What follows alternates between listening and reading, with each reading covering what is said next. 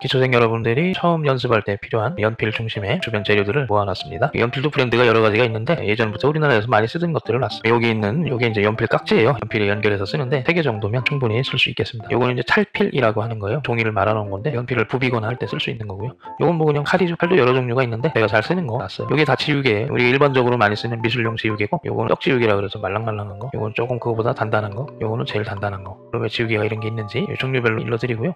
요건 제도비라고 하는 건데 그냥 빗자루예요. 지우개 가루 같은 거 털 때 손으로 하면 그림이 뭉개지잖아요. 요거는 연필깎이가 되겠어요. 연필부터 종류를 알아볼까요? 연필은 서양에서 들어온 재료잖아요. 알파벳 숫자가 H하고 B 이렇게 나뉘어요. 요게 HB라고 써 있는 건데요. 딱 중간 성질을 가지고 있는 거예요. HB가 중간이다. 그러면은 H랑 B는 뭐냐? H는 흐린 걸 얘기하고 B는 진한 걸 얘기해요. B 종류를 한번 들고 보여드릴게요. B, 2B, 3B, 4B, 6B 숫자가 커질수록 진해진다. 심 보면은 이렇게 조금씩 두꺼워져요. H도 마찬가지로 H, 2H, 4H, 6H 가면 점점 흐려지는 거예요. 이거의 심은 기본적으로 B보다는 단단하고 좀 얇아요. 자, 연필을 흐린 거에서부터 진한 거로 가볼게요. 비슷하게 고르게 힘을 줘서 이게 4H예요. 이거는 2H예요. 같은 힘으로 써도 진해요. 이번에는 H입니다. 점점 진해지죠? 이거는 이제 브랜드가 다르긴 하지만 HB는 좀 더 진한 거다. 얘가 딱 가운데 있는 아이죠. 자, 이건 2B예요. 확실히 진하네요. B를 빼먹었네? B 그 옆에 거볼까요? 비슷한 것 같은데 실제로 쥐어보면 이게 조금 더 흐려요. 4B 같게요. 연필선도 조금 더 두꺼운 것 같지 않아요? 그리고 실제로 거보면 좀 더 무르게 잘 부서져요. 4H, 4B를 들고 비교를 해줘 볼게요. H는 더 단단하고 B는 물러요. 그래서 같은 힘을 주고 칠할 때 4H는 이 정도의 톤이고 4B는 진 하게 나와요. 아주 힘을 주면 어떤 색까지 나오냐? 굉장히 진하죠? 4H도 한 번 더 거볼까요? 이게 진짜 잘 안 거죠?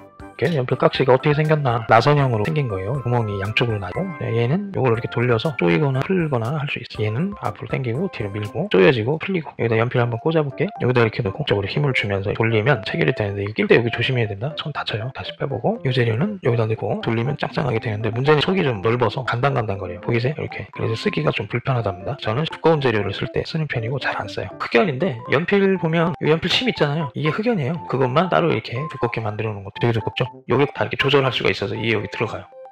이렇게 콘테라는 재료도 좀 두껍거든요. 그런 건 일반 깍지에 잘 안 들어가요. 두꺼운 재료 쓸 때는 두께도 살펴보고 사셔야지 사놓고 못 쓰는 경우가 있어요. 이 깍지 같은 경우는 연필처럼 얇은 거에서 흑연같이 두꺼운 것까지 쓸 수는 있다. 자, 이거는 잘 껴지는데 예쁘고 잘 안 팔아요, 이거. 단단함 정도로 보면은 아무래도 처음에 보여드렸더니 이게 가장 짱짱해요. 딱 끼면 완전 단단해요. 거기다가 연결하면 엄청 길겠죠, 이렇게. 요거가 찰필인데 찰필도 뭐 여러 회사에서 다 나와요. 근데 두꺼운 거 있고 중간 거 있고 이렇게 얇은 거 있는데 지금 전 얇은 거랑 중간 거만 가지고 있어요. 이건 종이를 둘둘 말아놓은 거예요. 여기 보면 한 겹씩 쭉 말아서 살짝 까볼까? 여기 이렇게 굉장히 얇아요. 얇은 걸 잔뜩 말아놓은 거예요. 그리고 끝에를 이렇게 깎아준 거죠. 종이 종류도 회사마다 좀씩 달라요. 근데 저는 이 종이가 좋아요. 문지를 때 약간 까실까실해요. 끝이 기모처럼 눌러보면 말랑말랑해요. 단단한 것도 있어요. 독일 제품이 좀 단단한 편이에요. 연필도 단단하고 이런 찰필도 단단하고 자, 요걸 어떻게 쓰느냐? 여기 보면 막 뭐 묻어있죠, 이거. 자, 연필을 이렇게 부빌 때 쓰기 때문에 이렇게 묻어요. 여기 보세요. 깨끗한 거. 이렇게 문질러주면 묻어있잖아. 그죠? 자, 그러고서 이걸 지우지 말고 그냥 줬다가 이렇게 문질러서 곱게도 만들고 퍼트리기도 하고 고와진 게 느껴지죠? 다르잖아요. 음, 이럴 때 쓰는 겁니다. 이거 찰필. 칼 설명드릴게요. 칼날 끝이 보면 굉장히 뾰족하죠. 칼심이 사선이 더 이렇게 기울기가 눕혀져서 가 있어가지고 단단한 느낌이 들고 연필을 깎으면 좀 더 잘 깎여요.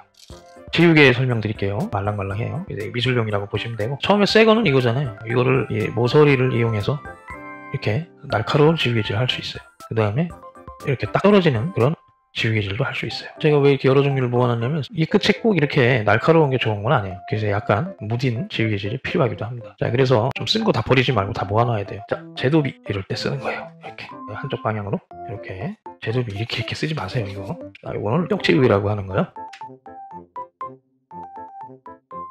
이렇게 이렇게 찍어 찍어 쓰는 거예요. 이렇게 부드럽게 이거 자꾸 빼면 밝아지는 거 보이세요? 여기도 빼볼까? 보이세요? 소리 들리세요? 이렇게 쓰는 거예요. 지우개가 들어가니까 왠지 좀 예쁘지 않아요? 지우개는 틀린 걸 없애는 데만 쓰는 게 아닙니다. 서로 보완하는 거예요. 또 다른 연필이라고 보는 게 맞지 않을까? 저는 그렇게 써요. 그 다음에 이거 보면 주로 여러분들 기초생들이 지우개 사오면 커서 좋아 보이는 건지 자꾸 이걸 사오더라고요. 이거 우리 대생용으로 쓰기 안 좋습니다. 이게 조금 더 단단해요. 아까 그 지우개 요거에 비해서 작은 거에 비해서 그래서 이걸 지우면 톤을 부드럽고 섬세하게 빼내기가 어렵고 날씨라도 좀 차갑고 지우개가 단단하다 싶으면 더 안 지워져요. 이게 누르면 단단하다고. 자, 얘는 더 단단해요. 단단한 것은 연필이 여기 자꾸 묻어가지고 지우개질 많이 못합니다. 요거는 오히려 우리가 전동지우개라는 걸 쓸 때 그때 이걸 잘라서 쓰기도 합니다. 전동지우개가 뭐냐면 자, 요건데요. 요 끝에 이렇게 심이 들어가요. 그래서 요거를 늘렸다 줄였다 하면서 사용하는 겁니다. 요걸 누르면 돼요. 요거. 요건 어때 쓰냐? 요걸 이렇게 섬세하게